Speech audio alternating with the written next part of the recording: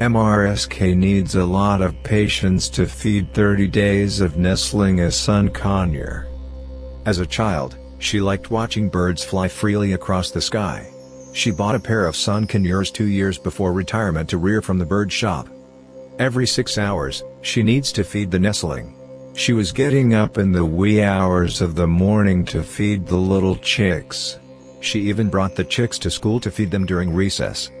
Within two months, she developed a pair of panda eyes because of the interruption of quality sleep. Indeed, a lot of sacrifices. She feeds her chicks with porridge and powdered milk that suit nestling. One of her chicks became an angry bird because of the cold weather. She had forgotten to cover the cage with a thick cloth. The following day, a motionless carcass lay in the cage, she sobbed.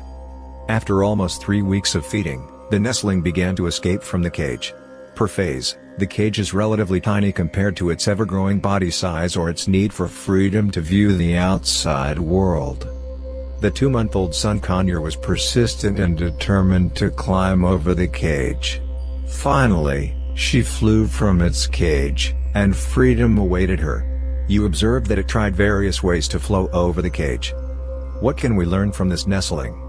The determination and never give up spirit likewise, we should follow the spirit of the two-month sun conure. In real life,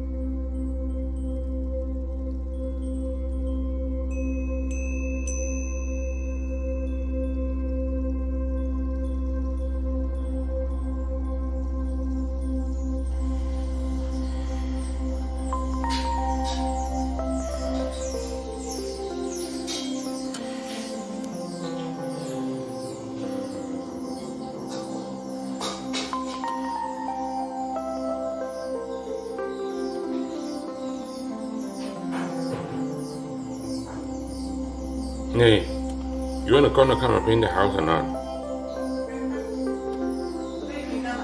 Mm-mm. Baby, I have to see call him.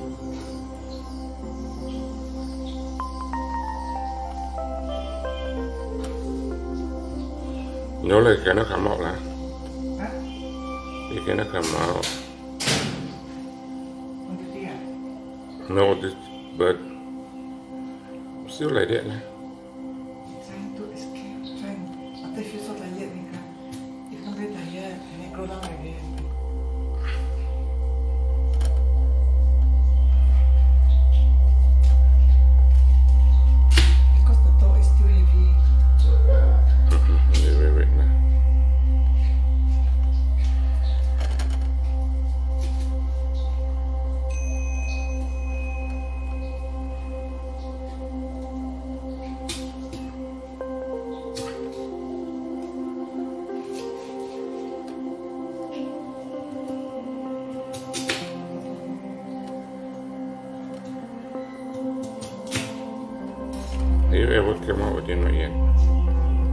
Ven.